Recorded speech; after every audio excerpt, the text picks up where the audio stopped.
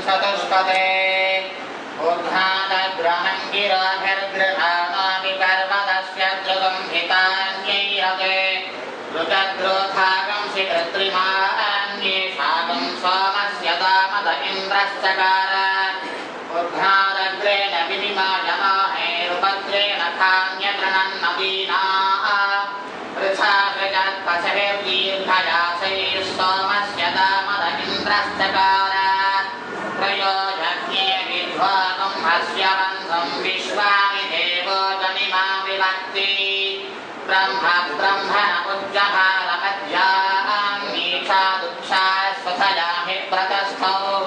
महान् मही अस्थः यद्विछातोद्यागं सद्मपार्थिवं जरसः। स बुभ्रादाष्टजनुषाभ्यग्रं बृहस्पतिर्देवता।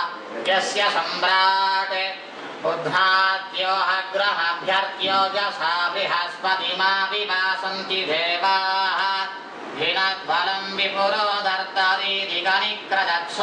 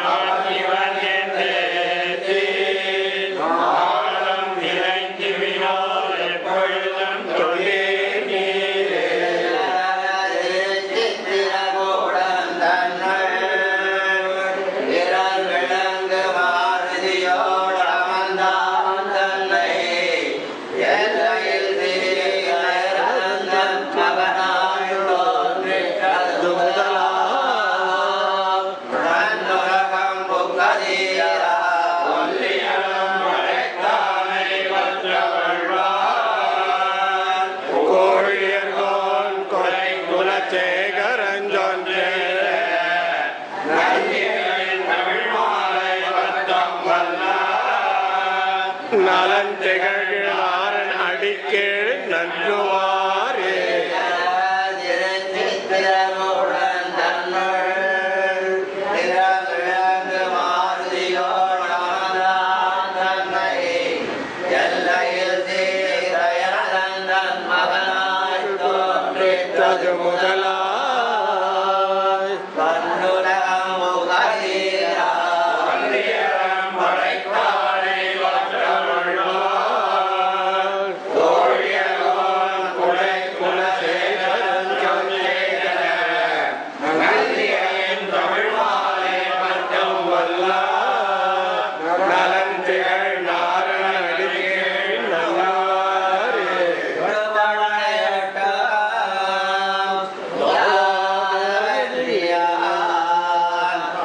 Lord.